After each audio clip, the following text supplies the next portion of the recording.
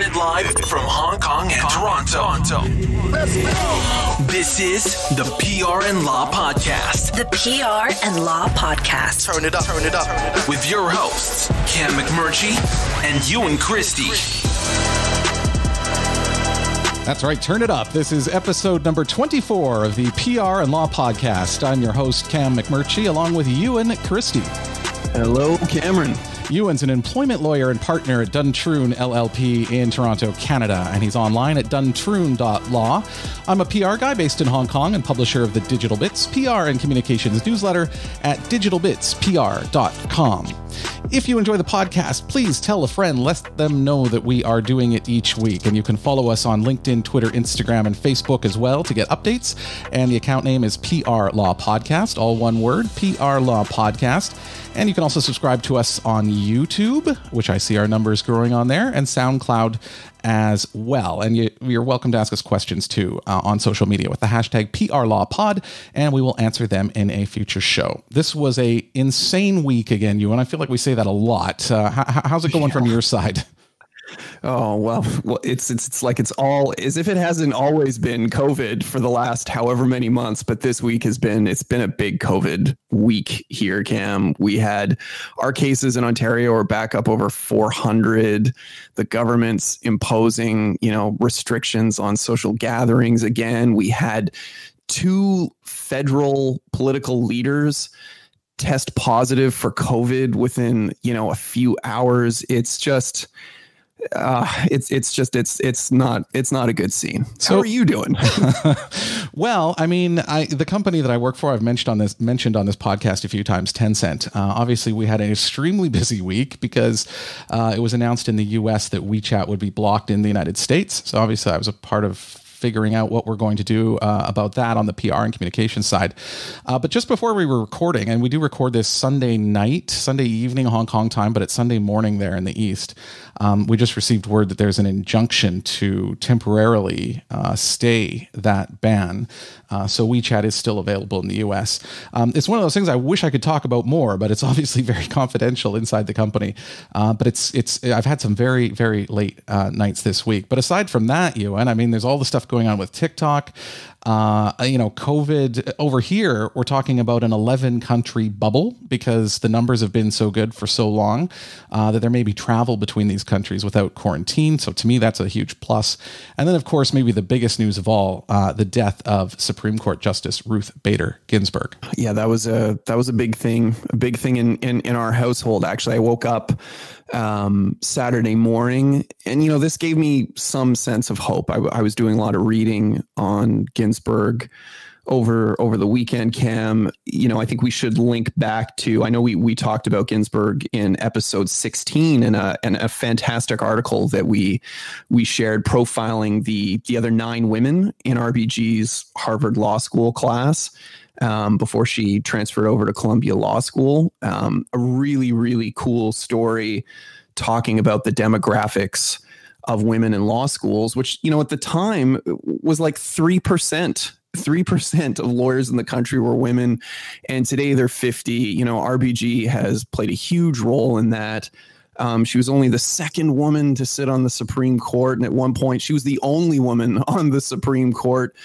um, you know, it's it's sort of it's just difficult to to try and you know use anything other than superlatives and hyperbolic descriptors um, when when talking about her. But you know, I, I wanted to say this when I woke up uh, Saturday morning, um, I overheard my wife talking with our, you know, three and a half year old.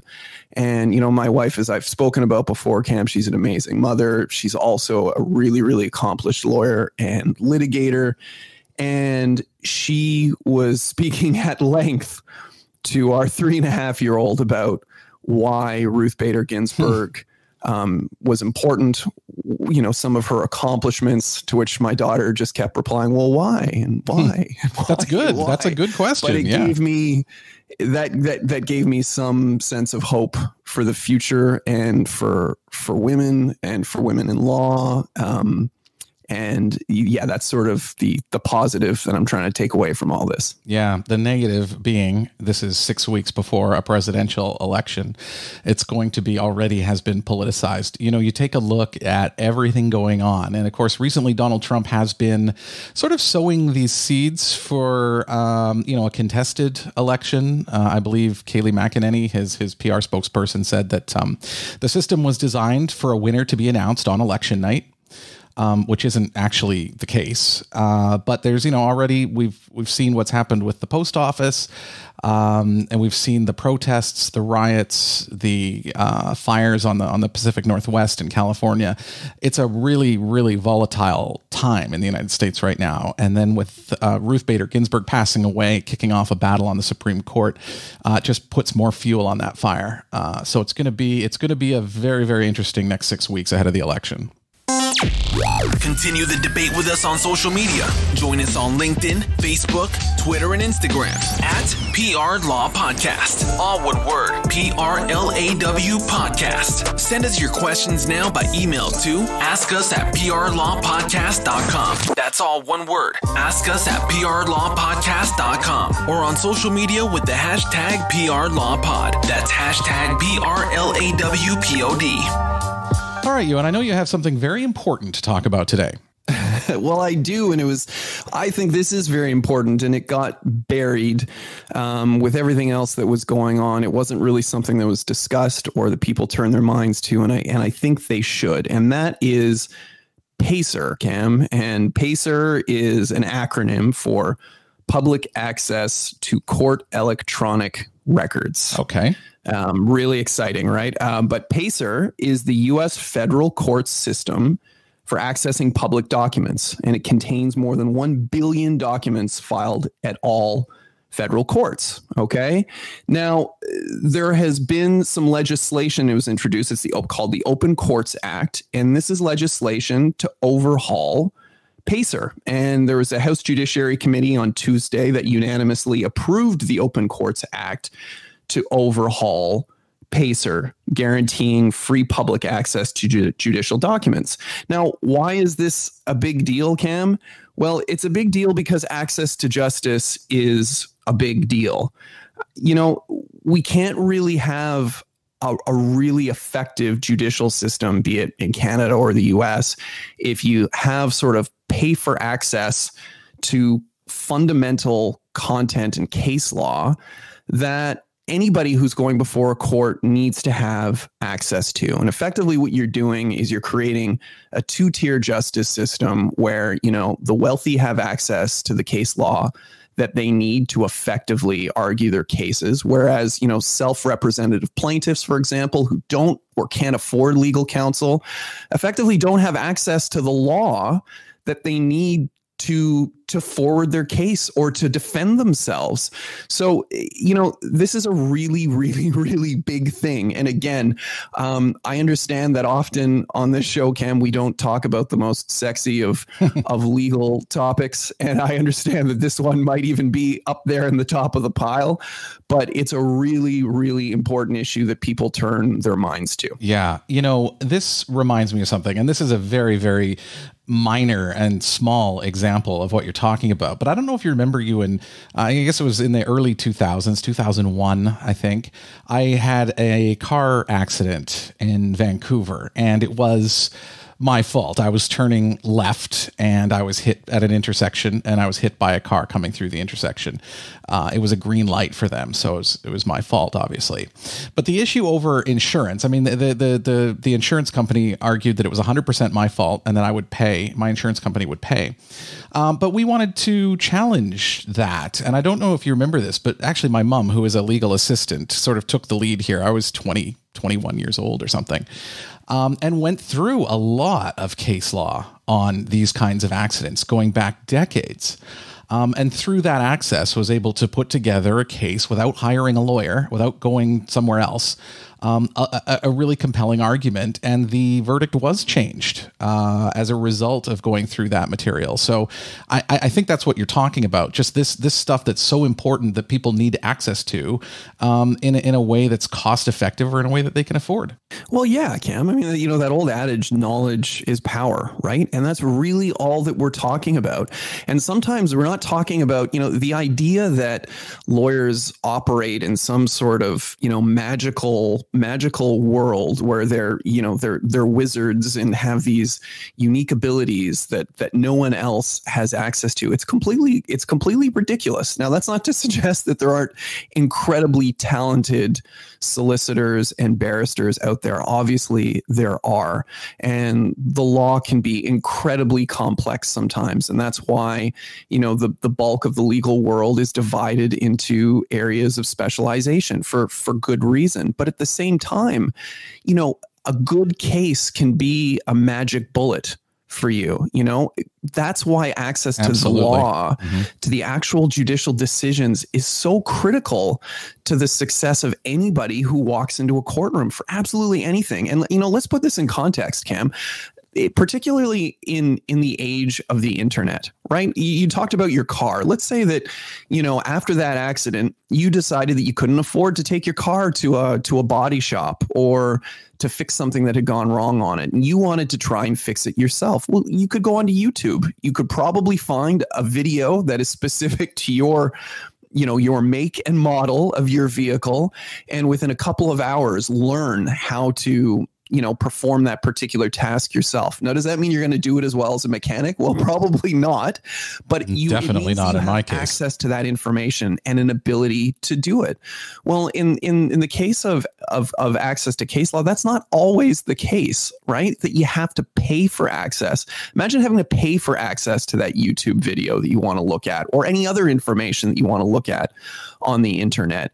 Um, and of all things that should not be paywalled judicial precedent, decisions of the courts, these are not things that should be, you know, guarded under lock and key and only accessible to those who can afford it. Yeah, definitely not in free societies too. I mean, I can understand that uh, being the case in, in mainland China, for instance, where the legal system is a little bit different um, than it is. But but for Canada and the U.S. and other sort of Western democracies, it seems like I mean, the legal system is is transparent uh, or should be transparent. It's open. People can go to trials in many cases. Um, it's meant to be public so the public can see the wheels of justice turning and see how it works at every step of the way. And that's really to keep people informed and ensure that the system does work and that it is held to account uh, as well. So this is this is a, a big part of that.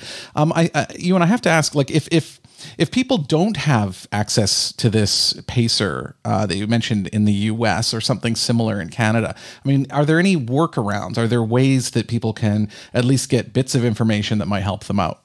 Well, I mean, anybody can can access, as I understand, um, cases on Pacer. It's just that you have to pay money for it, and that's the thing, right? And I mean, a lot of decisions, as any lawyer will tell you, can be very long and convoluted. So if you're doing legal research on a particular topic for your matter that's going before court, the likelihood that you're only going to have to look at one case is slim to nil. You're probably going to have to look at several cases. So if you're having to pull four and five, six, ten, however many decisions, and they're all 30 or 40 pages each, I mean, the costs can rack up really, really quickly. Um, and this is why, you know, lawyers in any context typically have access to really, really sophisticated legal databases that are fantastic research tools that can really drill down on specific keywords or terms to make sure that counsel can find the case that they need. So you know we're, we're we're just talking about a basic entry level here cam. We're talking about trying to give free access to people to find the cases. We're not even talking about a complex search algorithm like what most lawyers have access to. So, you know, we, we almost have to learn to walk before we can learn to run. Now, here, here in Canada, um, we have a system, we have what's called CanLII, the Canadian Legal Information Institute, and it's done a pretty good job um, providing free public access to decisions at all levels of the courts in in all provinces. Um, really, but again, nationwide. You know, it's still Sorry? It's nationwide. Yeah. Now, uh, but I mean, even then, it's still leaves a lot to be desired. There are a lot of decisions that aren't reported on CanLII. So if you're looking for a specific case and it's not there, well, good luck to you. Um, you know, more likely than not, you're either going to have to try and write to a specific court um, to get a to get a print copy sent to you somehow, or you're going to have to pay to have access to one of the legal database sources that most lawyers have access to. And again, you know, you're sort of creating almost a two tier system where you know lawyers just ha- they just have a huge huge advantage over any self-represented plaintiff that's going to go before court not just because of you know a particular legal expertise and training but just in terms of access to information. Now you know i'm not saying that we're going to create a level playing field where you know um, Joe Public, who walks into a court, is necessarily going to have the kind of expertise to to compete with a senior, seasoned litigator. But that individual should, at the very least, have access to the same information that that lawyer has access to. I mean, that should be the very fund. I mean, this seems like a fundamental principle um, of litigation and and of the courts at, at, at a base level. All right, I don't want to go down too much of this path, but um, why why don't they? Like, why is Pacer set up, or why why is it set up this way where it is a a charge or a pay service? Great, great question. Great question. Um, I mean, again, I think part of this is just reflective of the legal industry being very, very, very slow at, at adapting to change, at um, creating digital and online databases. Um, this is I, I, could I could speak ad nauseum about this, Cam, about all kinds of examples of how you know the legal profession continues to operate in in in the Stone Age. I think we're getting better. I think COVID has really really helped in that regard because it's it's sort of forced the industry to get digital and get online in a way um, that it wasn't before. You know, we've talked about hearings and mediations and examinations for discovery taking place over Zoom or or WebEx or some digital platform as opposed to physically taking place in in person. So I, I think I think we're getting there, but we still have a, a long way to go on this. Show your support to the PRN Law podcast by making a one time donation or setting up a subscription with us on Patreon. Every little bit helps us keep the lights on and bring the show to you each week. If you'd like to chip in, please visit prnlawpodcast.com. That's prnlawpodcast.com. Click support the show. Thanks for helping us out. All right. So, uh, you know, in the PR uh, item this week, I do want to talk a little bit about an issue that's come up in China a few times, but it's not only in China. Um, and it's sort of about how brands are being canceled. And we talked about cancel culture, you and I know already. Um, but in this case, uh, it's pertain it pertains to the brand Jo Malone which uh, is a British men's sort of cologne brand, and I think they do a few other things as well. Um, it's it's very well known. It's available uh, worldwide. I'm not sure if you heard of the story this week, Ewan. Um, but no, jo- John, no, I, I, actually I don't even know if I know who Joe or John Malone okay. is. Jo Malone, it's a brand. anyway, John Boyega, a black actor famous from Star Wars. Uh, he is the brand ambassador for Jo Malone. Now, as a result of that partnership, he naturally appears in ads and commercials that are shared globally, except in China, where he was what is called here whitewashed out of the ad. And many believe it's because he was black, and oftentimes China doesn't respond well uh, to black people in advertisements. I want to get the story right now. This is from Monocle 24 Radio. So John Boyega, um, the Star Wars uh, Disney actor, brought on as the first male ambassador for this perfume brand. Uh, Jo Malone, very well-known uh, global perfume uh, brand, and, and of course that's a whole technique that brands use. They bring on these ambassadors in order to drive uh, customers uh, towards them. That sort of aspirational sense. Well, Boyega launched a perfume with Jo Malone, became their first male ambassador, and yet he suddenly finds that in the Chinese version of the ads, he's been airbrushed out of the entire concept. Uh, he's furious. He's resigned as a, a Jo Malone ambassador because he said they didn't talk to him or consult him in any way. So, you know, once again, you know, using an ambassador to promote your brand may be a great idea, but if you're not going to use them, you probably better tell them. Ewan, we ran the Nanfang years ago. I think we've mentioned that on the show before too. I don't know if you remember the laundry detergent ad um, that also sort of went viral in China. Do you recall that one? I do vaguely, yes. So yes. in the ad, and I will put a link to this um, in the show notes. It basically had, well, it did have uh, a black man with a Chinese woman in the laundry room. The black man looked like he was trying to kind of get it on. She pushed his head into the into the washing machine, and then his full body into the washing machine. And lo and behold, when the cycle was done, it was a very white or light skinned Chinese person who came out. Um, that actually ran for months in China without any kind of complaint or noise until a foreigner saw it on TV and posted about it on social media. Naturally, that went around the world. Uh, Huffington Post called it the most racist TV commercial ever made. Dove did something similar uh, just in 2017. So, I mean, this has happened uh, a lot of times. And how how do you think we go about fixing this, Ewan, based on your own experience, sort of in China and dealing with this kind of thing? Well, yeah, great question. Um, but wait a minute, isn't this is not the first time, if if memory serves, that this has happened specifically to John Boyega in China? Wasn't there a whole controversy around the Star Wars? Poster, the Force Awakens poster in China, where his character was either removed or dramatically shrunk from from the Chinese poster. I, I'm I'm fairly certain.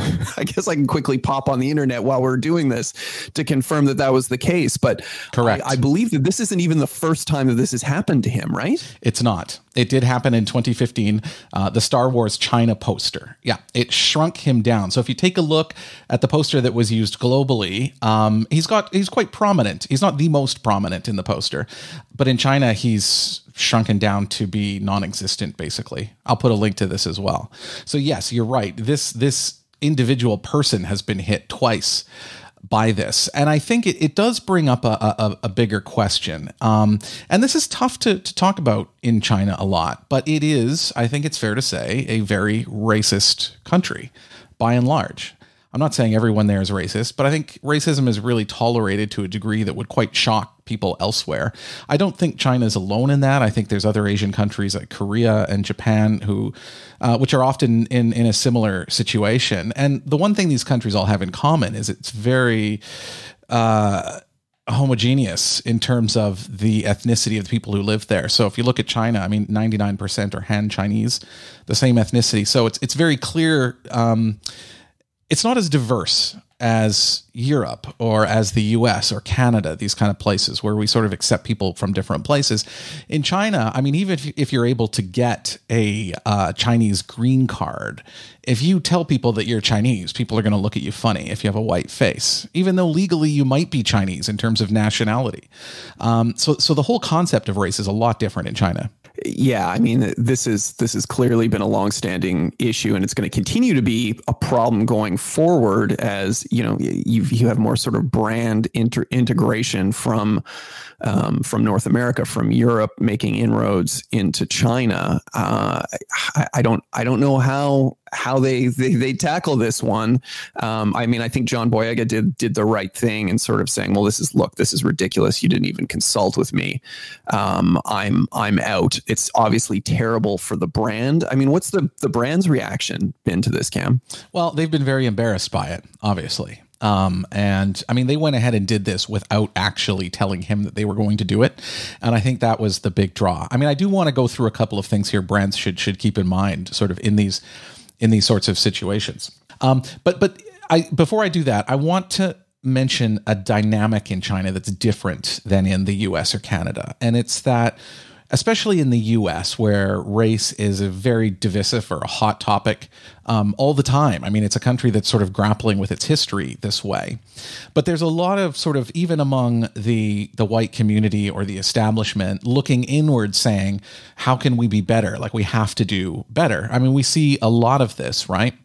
So that dynamic is fine. But when you go to China, if you're a foreigner talking about how Chinese should be more tolerant of other other people, that's different because that's an outsider telling you how you your society should function. And obviously that is not not taken well. I mean, I don't think we would take it well either if people from from from South Korea came to, to Canada and said this is how you should be, you know, managing these social issues. So I think that dynamic's quite difficult because it means that it's hard to come in and say like this is a wrong thing to do, even though it is a wrong thing to do. Uh, because oftentimes in China they say yeah, but it's it's accepted, it's fine, and who are we to say as outsiders that they should change? Yet they should change. Yet we should tell them. Uh, so it puts it puts us in a very difficult situation. Yeah, I mean, this is we're sort of coming bumping head head first into issues of cultural relativism, right? Right. I mean, uh, That's where I'm who- going. Who, who is any country to sort of say how Yeah. another country should conduct themselves in terms of their their racial and, and ethnic politics? It's a very it's it's a it's a difficult issue to tackle. You know, I lived in the city of Guangzhou for a year. Um, people might know that name. It, it was called Canton previously. It's where Cantonese came from, Cantonese food. Uh, it's now Guangzhou. But, um, you know, when I was there, Guangzhou is known as Chocolate City in China. That's how it's referred to because it has a huge African population there. Um, it's the one city in China that that is really unique in that way. And of course, there's benefits. I mean, there's excellent food and restaurants there as a result.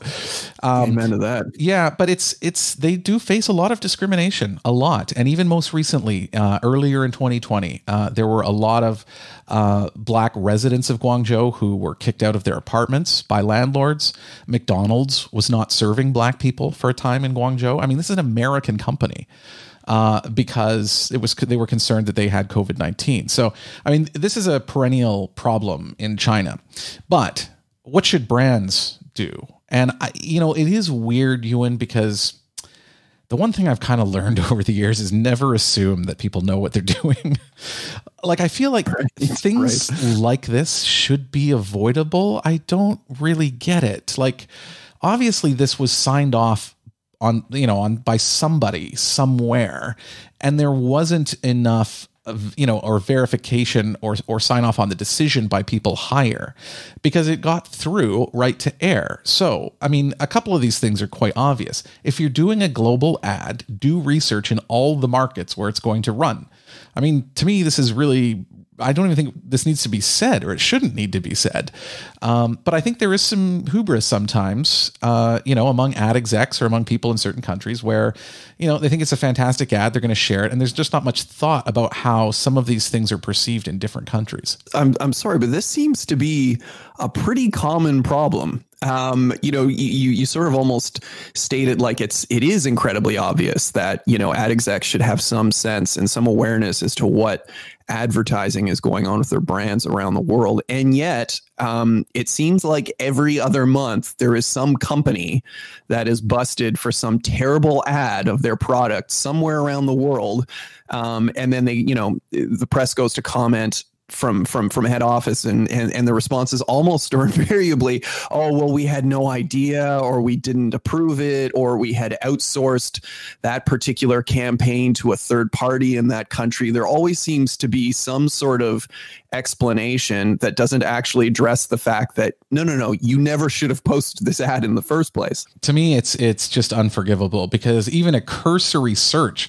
would would bring up these other cases that have happened right? I mean I, this is just not rocket science at all. Um, but i think um, the key the key issue here that brands have to reckon with is if chinese audiences do not respond well to black people in really key or important positions or as the face of a movie franchise or whatever it might be should they proceed without putting a black person there or should they put one there in order to try and change attitudes? And that's ultimately what it boils down to for the company. Because i would understand i mean you look at um, I, I, guess in, in, in pr like in communications and what i do in particular you're, you're trying to manage risk all the time and lower it to the lowest level feasible.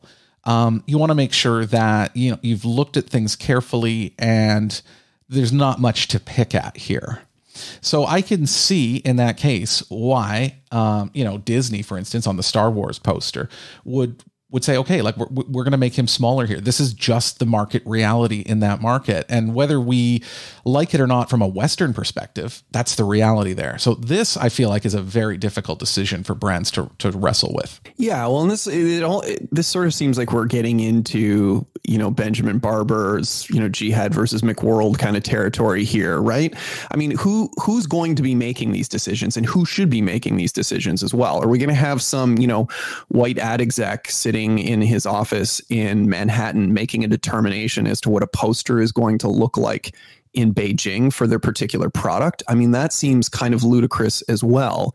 And, you know, the idea that a global brand is just going to have one particular model or one particular campaign style that's going to be applicable in every market around the world that just doesn't strike me as particularly practical. I mean, you you talked about McDonald's, Cam, and I mean, you know, um, as as I recall, if you look at a menu in Beijing when you walk into a McDonald's and compare it to something you're going to find in in Texas, for example, sure you're going to have sort of those staple menu items, but then you're going to have a number of things that are tailored to the particular marketplace and what's popular and what the preferences are of that of that individual market. So it's not like large companies are, are, are completely tone deaf with regard to this.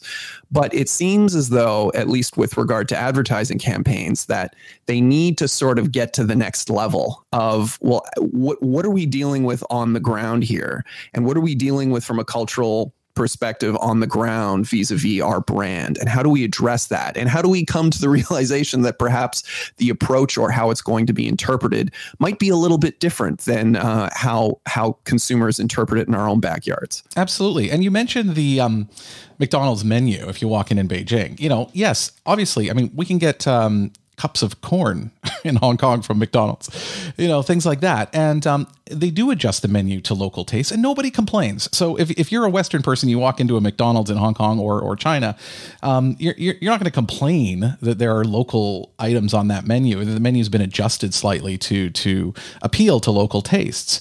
So we accept it, obviously, when it's something like a food item, but is it okay if it's a person, a race? I mean, this is where it gets really dicey. Um, and I and there's not an easy answer here because on the one hand, I think, you know, absolutely you shouldn't be downplaying a black person in a poster because the society is racist. But at the same time, your goal is to get people to watch this movie. Like that's that's what's going to pay for your shoes. Like that's that's the key point here.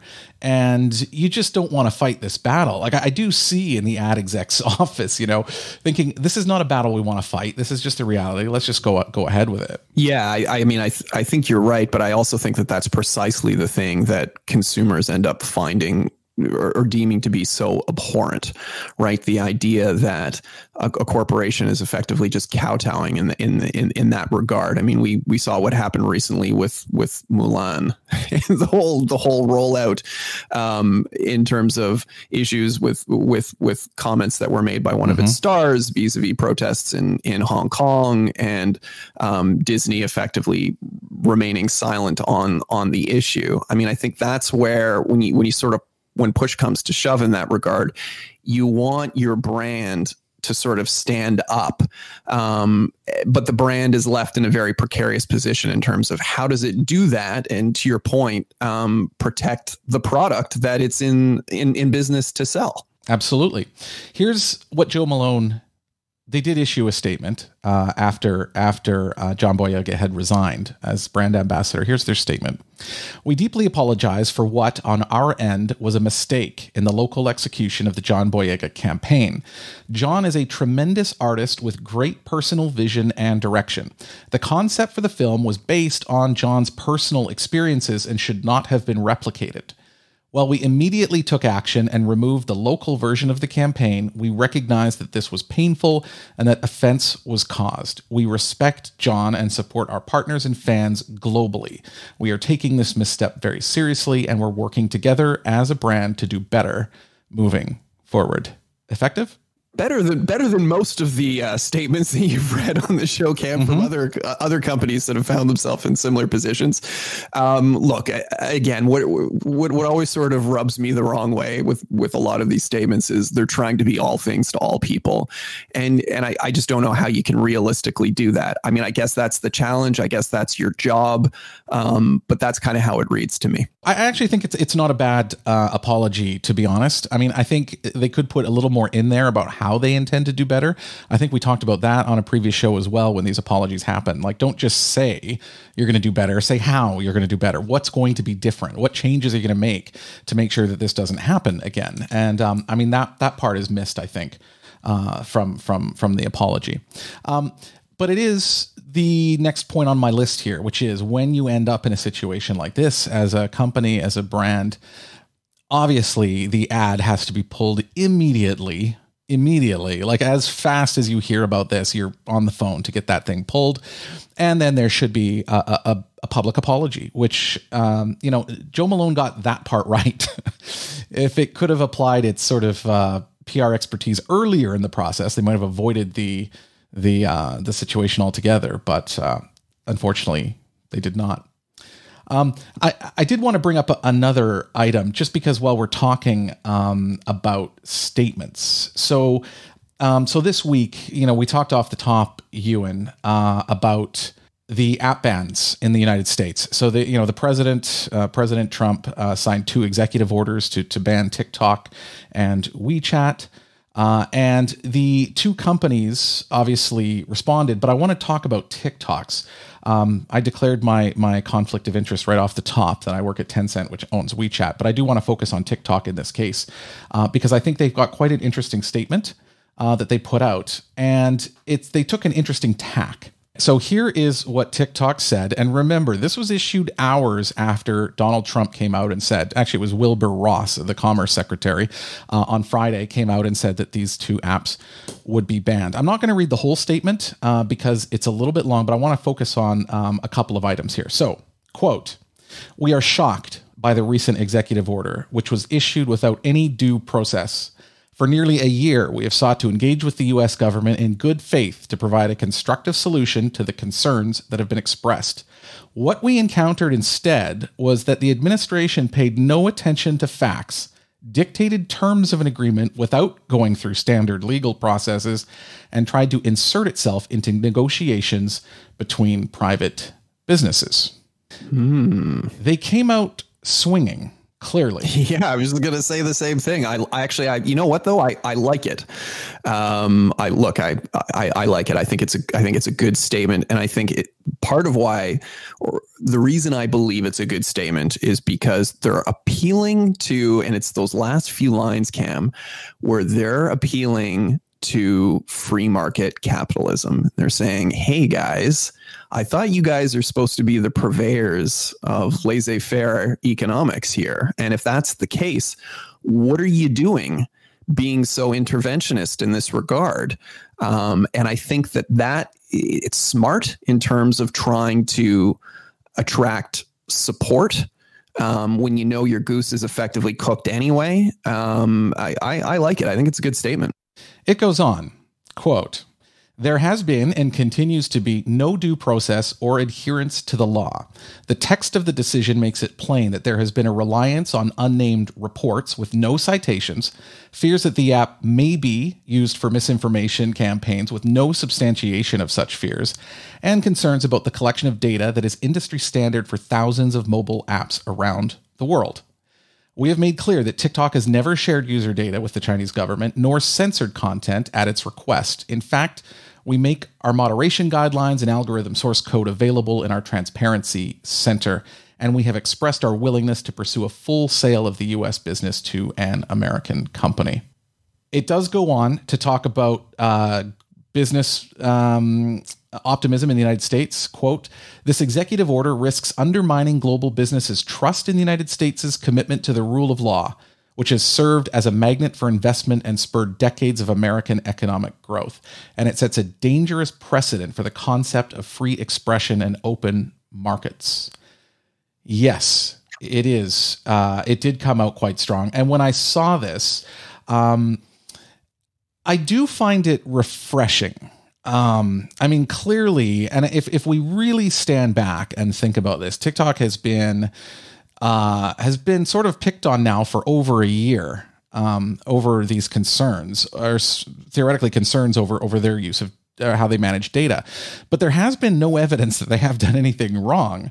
Um, so I understand why they're frustrated, but the question you have to ask yourself, though, really as a PR person, is if you need the government's support, if you need the president to sign off on some solution that keeps your business open, this is a very risky way to do that because you're going after them hard. And then you're going to have to turn around and try and beg for their approval, which did happen. I mean, obviously, it did, it was breaking news over the weekend that the president has signed off on, on an arrangement with Oracle. Um, but it's a very risky way to, to go about that. But it, I mean, could it also just be that they know who they're dealing with, Cam, and that they know that, um, you know, to meet to meet might with anything other than might is effectively just going to leave them worse off than they were before. Yeah, that's possible. And there is one. I did see one one comment on Twitter because obviously uh, Tencent. We we also put out a statement uh, after this. Ours was much shorter and to the point. I don't have the copy of it here. I would read it, but someone on Twitter did say this is the difference between a company in TikTok's case that is fighting for its survival.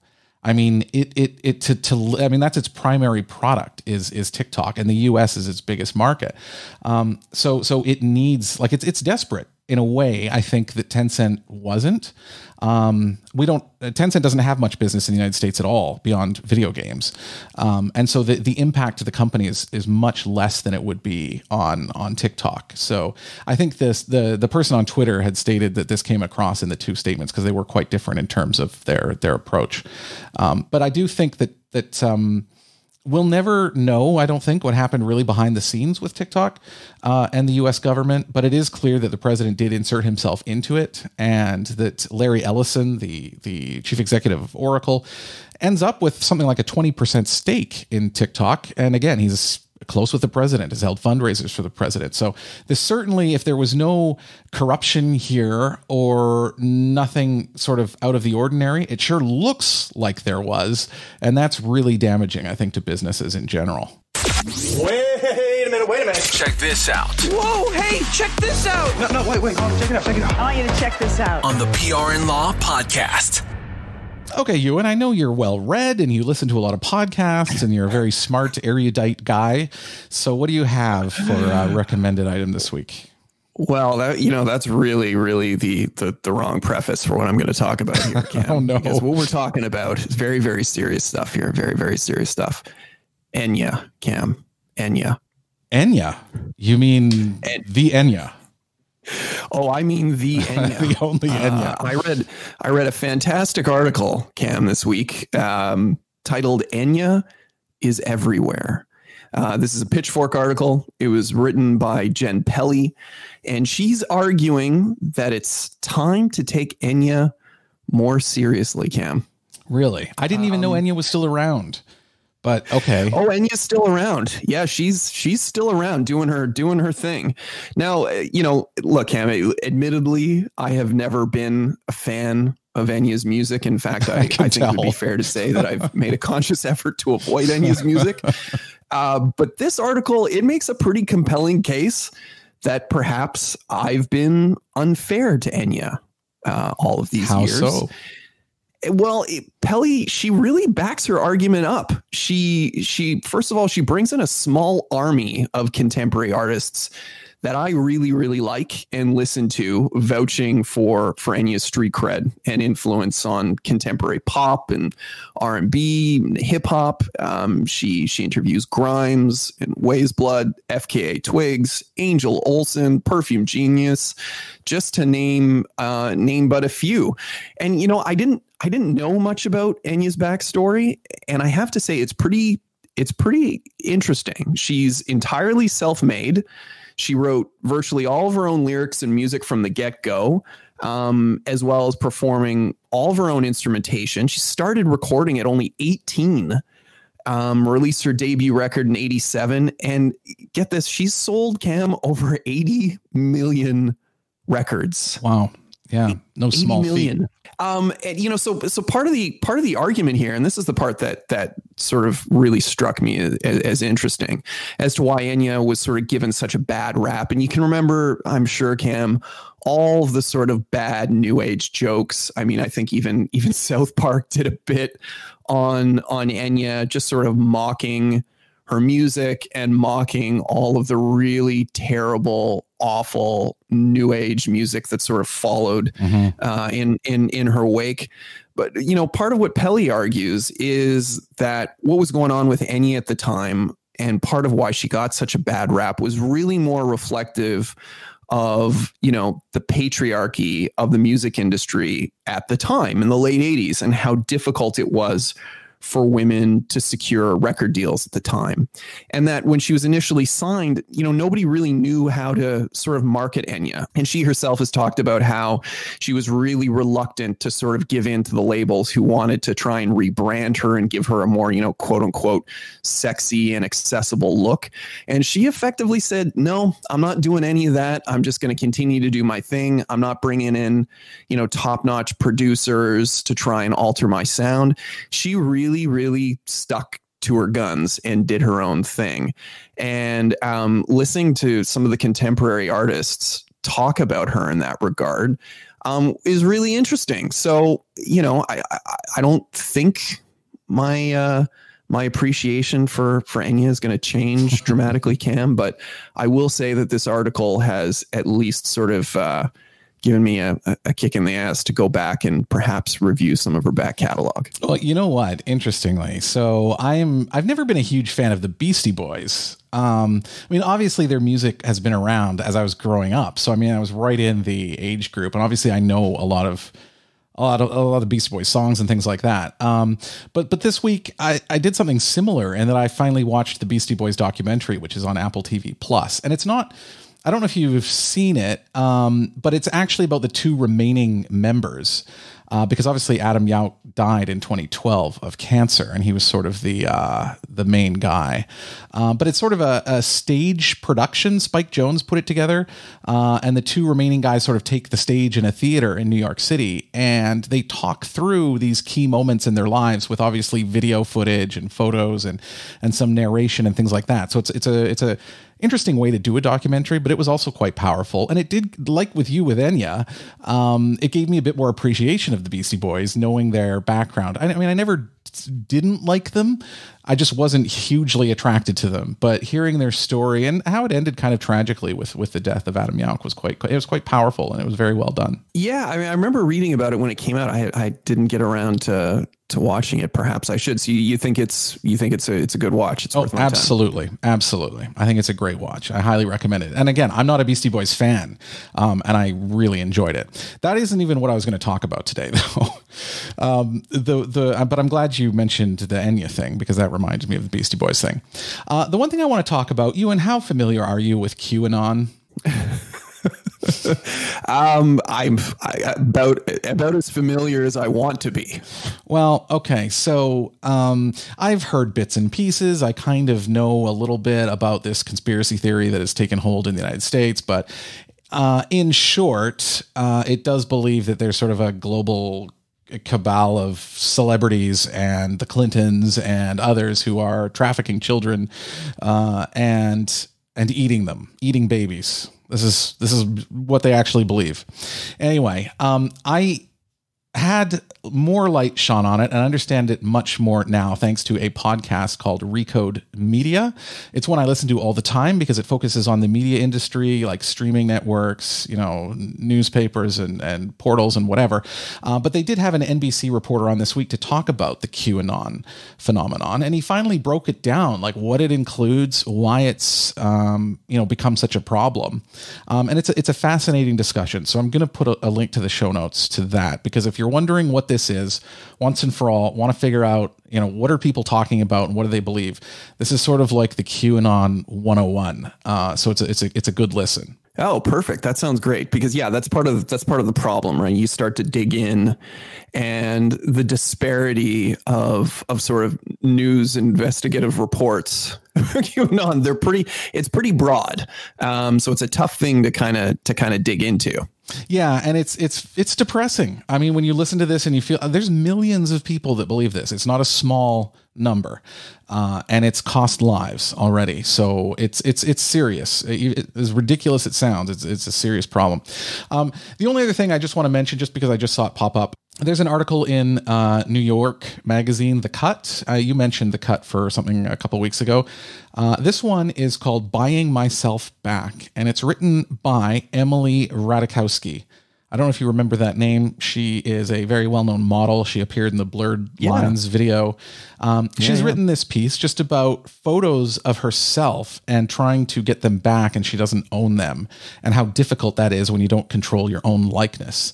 Uh, and it's quite a it's quite a personal kind of essay. Um, again, this is another subject I probably wouldn't have read about normally, but I got into it, and then once I was into it, I read the entire thing, and I thought it was uh, again, it's another way of looking sort of at the system now in the United States, uh, just over sort of things like IP and and and, and copyright. Yeah, well, and why people need to retain good counsel to review their contracts before they sign them, right? Yes. Um, we also saw something about this with regard to, to Kanye West releasing his contracts, um, saying, I don't control my masters. I don't control my masters. Well, you know, I mean, ultimately, you signed an agreement that signed over the rights to your content for X number of years.